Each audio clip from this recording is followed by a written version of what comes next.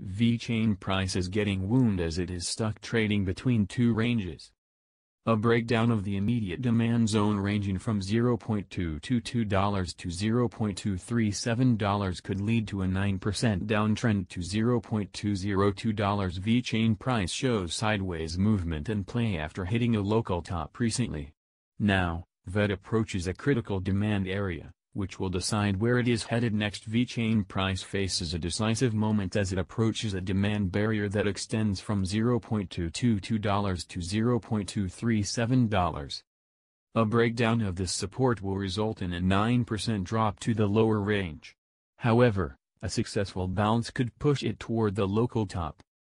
The Moving Average Convergence Divergence, MACD, indicator exhibits a bearish bias on the 12-hour chart suggesting a minor crash could be on its way.